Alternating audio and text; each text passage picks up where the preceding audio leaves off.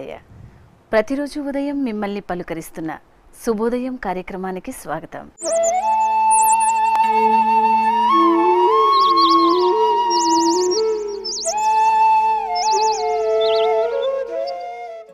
ఓం నమో వెంకటేశాయ. ప్రతిరోజు ఉదయం మిమ్మల్ని పలుకరిస్తున్న శుభోదయం కార్యక్రమానికి స్వాగతం.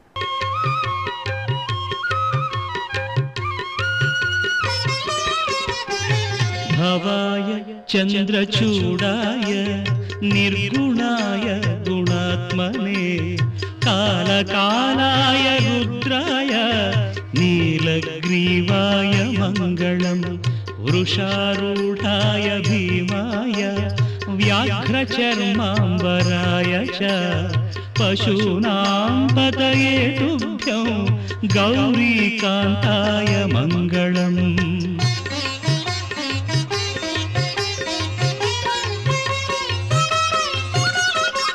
भस्मोद्धूलितदेहाय व्याळयज्ञोपवीतिने रुद्राक्षमालाभूषाय व्योमकेशाय मङ्गलम् सूर्यचन्द्राग्निनेत्राय नमः कैलासवासिने सच्चिदानन्दरूपाय प्रमदेशाय मङ्गलम्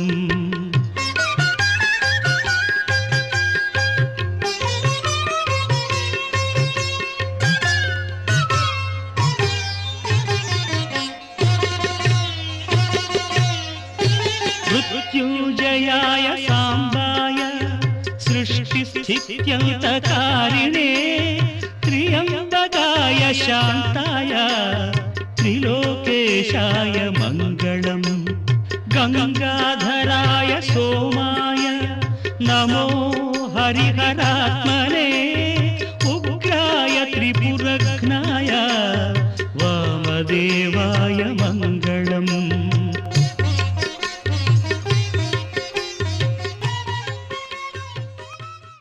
జ్యేష్ఠమాస విశిష్టతను ఈరోజు కొంత తెలుసుకుందాం. నాస్తి కామసమో వ్యాధి నాస్తి మోహసమో రిపు నాస్తి కోపసమో వన్హి నాస్తి జ్ఞానాత్ పరం సుఖం. అత్యంత పవిత్రమైనటువంటి ఈ జ్యేష్ఠమాసంలో శుభోదయ వేళలో. దేవదేవుడైనటువంటి శ్రీమన్నారాయణుణ్ణి శ్రీ వెంకటేశ్వర స్వామి వారిని విశేషించి త్రివిక్రమావతారధారి అయినటువంటి శ్రీ మహావిష్ణువుని పరిపరి విధాలుగా శరణాగతి చేస్తూ ఉత్తమమైన ఈ జ్యేష్ఠ మాస శుభోదయ సమయాన్ని మనం చరితార్థం చేసుకుంటూ ఉన్నాం. నాస్తి కామసమో వ్యాధి. మనకేదైనా ఒక వ్యాధి ఉన్నట్లయితే ఈ జీవితంలో మనం విజయాన్ని సాధించలేకపోతాం.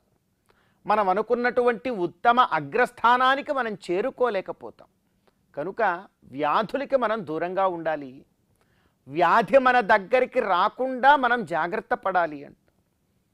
కానీ ఇంతకీ ఏమిటండి వ్యాధి అంటే? మనం లోకంలో చూస్తూ ఉండేటువంటి ఈ వ్యాధులన్నీనా నిజమైనటువంటి వ్యాధులంటే? కాదుట. ఈ వ్యాధులేవి కూడా మన యొక్క అభివృద్ధిని ఆటంకపరచలేవు అంటున్నారు.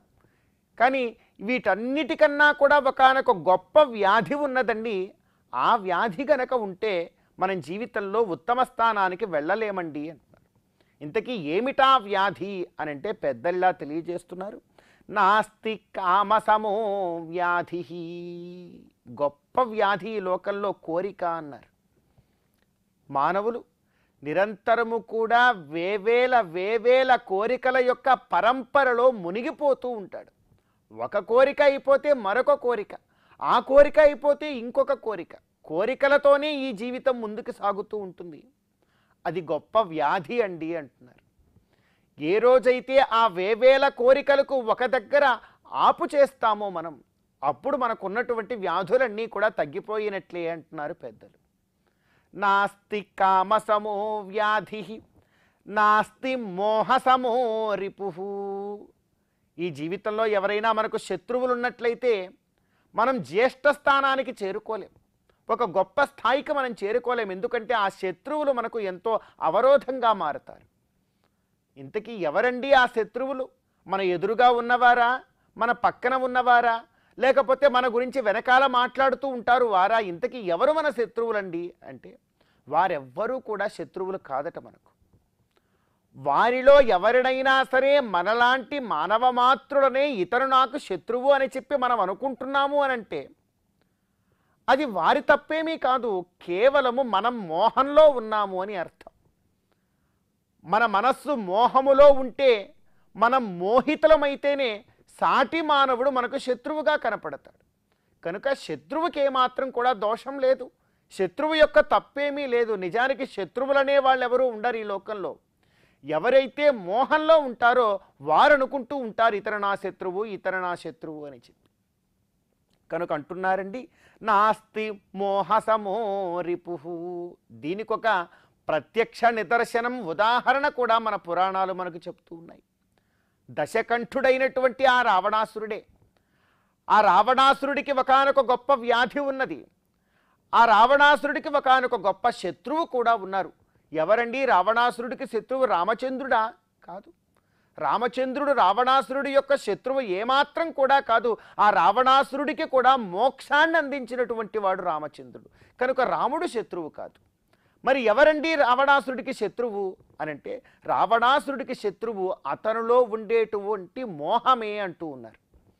అదేవిధంగా దశకంఠుడైనటువంటి ఆ రావణాసురుడికి ఒకనొక గొప్ప వ్యాధి కూడా ఉన్నది. ఆ వ్యాధి వలన ఈ మోహము వలననే రావణాసురుడు పతనమైనాడు అంటారు ఇంతకీ రావణాసురుడికి ఉండేటువంటి ఆ మోహమేమి అంటే ఆ వ్యాధి ఏమి అనంటే తనలో ఉండేటువంటి కామమే అంటున్నారు. కనుక ఈ రెండింటినీ కూడా మానవులు మనం విడిచిపెట్టాలి. ఇంకా చెప్తున్నారు నాస్తి కోపసమో వన్హి మన జీవితంలో ఒక్కొక్కసారి ఒక గొప్ప దావానలం వచ్చి మన జీవితాన్నంతటినీ కూడా ఒక్కొక్కసారి కాల్చివేస్తుంది. ఎదురవుతూ ఉంటాయి అటువంటి పరిస్థితులన్నీ కూడా. ఎందుకు ఎదురవుతాయండి అటువంటి పరిస్థితులు? మనకు కారణమేమి? దీనికి కారణాంతరం ఏదైనా ఉంటుందా? అని చెప్పి మనం బాగా కనుక యోచన చేసి చూసినట్లయితే ఇలాంటి పరిస్థితులకి కారణం కేవలం మనలో ఉండేటువంటి కోపము తప్ప మరొకటి కాదంటున్నారు. కనుక కోపాన్ని విడిచిపెట్టాలండి. నాస్తి కోపసమో వన్హి ఇటువంటి కోపం అనేటువంటివన్నీయే హిరణ్యాక్ష హిరణ్యకశిపులను దహనం చేసింది.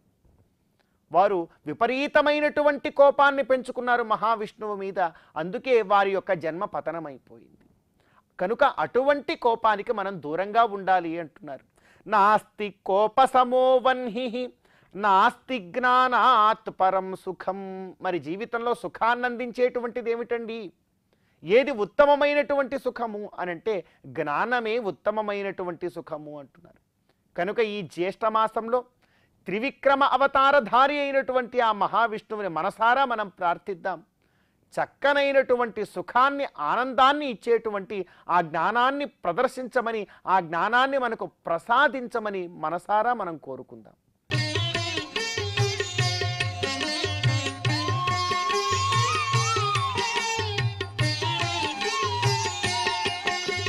నమో దేవాది దేవాయ త్రినేత్రాయ మహాత్మనే. రక్తపింగళనేత్రాయ జటమకుటధారిణి. నమో దేవాది దేవాయ త్రినేత్రాయ మహాత్మనే. రక్తపింగళనేత్రాయ జటమకుటధారిణి.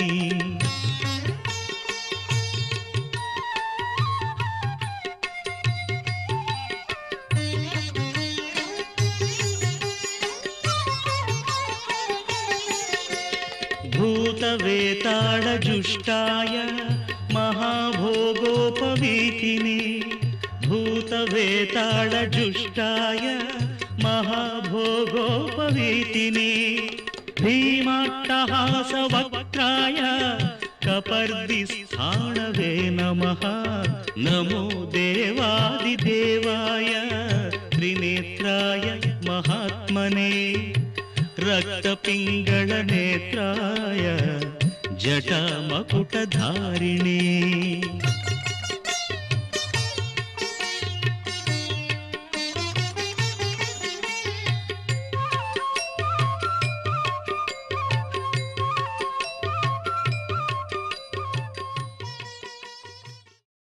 ఈనాటి శుభోదయం కార్యక్రమం అందరినీ అలరించిందని ఆశిస్తూ రేపటి శుభోదయం కార్యక్రమంలో కలుసుకుందాం. ఓం నమో వెంకటేశాయ.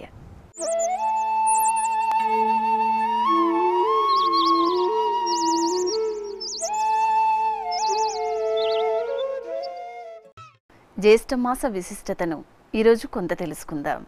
నాస్తి కామసమో వ్యాధి నాస్తి మోహసమో రిపు నాస్తి కోపసమో వన్హి నాస్తి జ్ఞానాత్ పరం సుఖం. అత్యంత పవిత్రమైనటువంటి ఈ జ్యేష్ఠమాసంలో శుభోదయ వేళలో దేవదేవుడైనటువంటి శ్రీమన్నారాయణుని శ్రీ వెంకటేశ్వర స్వామి వారిని విశేషించి త్రివిక్రమావతారధారి అయినటువంటి శ్రీ మహావిష్ణువుని పరిపరి విధాలుగా శరణాగతి చేస్తూ ఉత్తమమైన ఈ జ్యేష్ఠ మాస శుభోదయ సమయాన్ని మనం చరితార్థం చేసుకుంటూ ఉన్నాం. నాస్తి కామసమో వ్యాధి. మనకేదైనా ఒక వ్యాధి ఉన్నట్లయితే ఈ జీవితంలో మనం విజయాన్ని సాధించలేకపోతాం. మనం అనుకున్నటువంటి ఉత్తమ అగ్రస్థానానికి మనం చేరుకోలేకపోతాం. కనుక వ్యాధులకి మనం దూరంగా ఉండాలి. వ్యాధి మన దగ్గరికి రాకుండా మనం జాగ్రత్త పడాలి అంట. కానీ ఇంతకీ ఏమిటండి వ్యాధి అంటే? మనం లోకంలో చూస్తూ ఉండేటువంటి ఈ వ్యాధులన్నీనా? నిజమైనటువంటి వ్యాధులంటే? కాదుట. ఈ వ్యాధులేవి కూడా మన యొక్క అభివృద్ధిని ఆటంకపరచలేవు అంటున్నారు. కానీ వీటన్నిటికన్నా కూడా ఒకనొక గొప్ప వ్యాధి ఉన్నదండి. ఆ వ్యాధి గనక ఉంటే మనం జీవితంలో ఉత్తమ స్థానానికి వెళ్ళలేమండి అంటున్నారు. ఇంతకీ ఏమిటా వ్యాధి అని అంటే పెద్దల్లా తెలియజేస్తున్నారు. నాస్తి కామసమో వ్యాధి. గొప్ప వ్యాధి ఈ లోకంలో కోరిక అన్నారు. మానవులు నిరంతరము కూడా వేవేల వేవేల కోరికల యొక్క పరంపరలో మునిగిపోతూ ఉంటాడు. ఒక కోరిక అయిపోతే మరొక కోరిక ఆ కోరిక అయిపోతే ఇంకొక కోరిక. కోరికలతోనే ఈ జీవితం ముందుకు సాగుతూ ఉంటుంది. అది గొప్ప వ్యాధి అండి అంటున్నారు. ఏ రోజైతే ఆ వేవేల కోరికలకు ఒక దగ్గర ఆపు చేస్తామో మనం అప్పుడు మనకున్నటువంటి వ్యాధులన్నీ కూడా తగ్గిపోయినట్లే అంటున్నారు పెద్దలు. నాస్తి కామసమో వ్యాధి నాస్తి మోహసమో రిపు. ఈ జీవితంలో ఎవరైనా మనకు శత్రువులు ఉన్నట్లయితే మనం జ్యేష్ఠ స్థానానికి చేరుకోలేం. ఒక గొప్ప స్థాయికి మనం చేరుకోలేం. ఎందుకంటే ఆ శత్రువులు మనకు ఎంతో అవరోధంగా మారుతారు. ఇంతకీ ఎవరండి ఆ శత్రువులు? మన ఎదురుగా ఉన్నవారా? మన పక్కన ఉన్నవారా? లేకపోతే మన గురించి వెనకాల మాట్లాడుతూ ఉంటారు వారా? ఇంతకీ ఎవరు మన శత్రువులండి? అంటే వారెవ్వరూ కూడా శత్రువులు కాదట మనకు. వారిలో ఎవరినైనా సరే మనలాంటి మానవ మాత్రులనే ఇతరు నాకు శత్రువు అని చెప్పి మనం అనుకుంటున్నాము అని అంటే అది వారి తప్పేమీ కాదు కేవలము మనం మోహంలో ఉన్నాము అని అర్థం. మన మనస్సు మోహములో ఉంటే మనం మోహితులమైతేనే సాటి మానవుడు మనకు శత్రువుగా కనపడతాడు. కనుక శత్రువుకి ఏమాత్రం కూడా దోషం లేదు. శత్రువు యొక్క తప్పేమీ లేదు. నిజానికి శత్రువులనే వాళ్ళు ఉండరు ఈ లోకంలో. ఎవరైతే మోహంలో ఉంటారో వారు అనుకుంటూ ఉంటారు ఇతర నా శత్రువు ఇతర నా శత్రువు అని చెప్పి. కనుక అంటున్నారండి నాస్తి మోహసమో రిపు దీనికొక ప్రత్యక్ష నిదర్శనం ఉదాహరణ కూడా మన పురాణాలు మనకు చెప్తూ ఉన్నాయి. దశకంఠుడైనటువంటి ఆ రావణాసురుడే. ఆ రావణాసురుడికి ఒకనొక గొప్ప వ్యాధి ఉన్నది. ఆ రావణాసురుడికి ఒకనొక గొప్ప శత్రువు కూడా ఉన్నారు. ఎవరండి? రావణాసురుడికి శత్రువు రామచంద్రుడా? కాదు. రామచంద్రుడు రావణాసురుడి యొక్క శత్రువు ఏమాత్రం కూడా కాదు. ఆ రావణాసురుడికి కూడా మోక్షాన్ని అందించినటువంటి వాడు రామచంద్రుడు. కనుక రాముడు శత్రువు కాదు. మరి ఎవరండి రావణాసురుడికి శత్రువు? అనంటే రావణాసురుడికి శత్రువు అతనిలో ఉండేటువంటి మోహమే అంటూ ఉన్నారు. అదేవిధంగా దశకంఠుడైనటువంటి ఆ రావణాసురుడికి ఒకనొక గొప్ప వ్యాధి కూడా ఉన్నది. ఆ వ్యాధి వలన ఈ మోహము వలననే రావణాసురుడు పతనమైనాడు అంటారు ఇంతకీ రావణాసురుడికి ఉండేటువంటి ఆ మోహమేమి? అంటే ఆ వ్యాధి ఏమి? అనంటే తనలో ఉండేటువంటి కామమే అంటున్నారు. కనుక ఈ రెండింటినీ కూడా మానవులు మనం విడిచిపెట్టాలి. ఇంకా చెప్తున్నారు నాస్తి కోపసమో వన్హి మన జీవితంలో ఒక్కొక్కసారి ఒక గొప్ప దావానలం వచ్చి మన జీవితాన్నంతటినీ కూడా ఒక్కొక్కసారి కాల్చివేస్తుంది. ఎదురవుతూ ఉంటాయి అటువంటి పరిస్థితులన్నీ కూడా. ఎందుకు ఎదురవుతాయండి అటువంటి పరిస్థితులు మనకు కారణమేమి? దీనికి కారణాంతరం ఏదైనా ఉంటుందా? అని చెప్పి మనం బాగా కనుక యోచన చేసి చూసినట్లయితే ఇలాంటి పరిస్థితులకి కారణం కేవలం మనలో ఉండేటువంటి కోపము తప్ప మరొకటి కాదంటున్నారు. కనుక కోపాన్ని విడిచిపెట్టాలండి. నాస్తి కోపసమో వన్హి ఇటువంటి కోపం అనేటువంటివన్నీయే హిరణ్యాక్ష హిరణ్యకశిపులను దహనం చేసింది. వారు విపరీతమైనటువంటి కోపాన్ని పెంచుకున్నారు మహావిష్ణువు మీద. అందుకే వారి యొక్క జన్మ పతనమైపోయింది. కనుక అటువంటి కోపానికి మనం దూరంగా ఉండాలి అంటున్నారు. నాస్తి కోప సమోవన్హి నాస్తి జ్ఞానాత్ పరం సుఖం. మరి జీవితంలో సుఖాన్ని అందించేటువంటిది ఏమిటండి? ఏది ఉత్తమమైనటువంటి సుఖము అని అంటే జ్ఞానమే ఉత్తమమైనటువంటి సుఖము అంటున్నారు. కనుక ఈ జ్యేష్ఠ మాసంలో త్రివిక్రమ అవతారధారి అయినటువంటి ఆ మహావిష్ణువుని మనసారా మనం ప్రార్థిద్దాం. చక్కనైనటువంటి సుఖాన్ని ఆనందాన్ని ఇచ్చేటువంటి ఆ జ్ఞానాన్ని ప్రదర్శించమని ఆ జ్ఞానాన్ని మనకు ప్రసాదించమని మనసారా మనం కోరుకుందాం.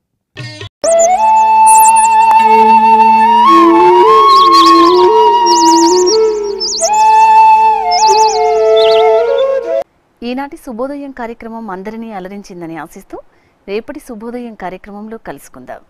ఓం నమో వెంకటేశాయ.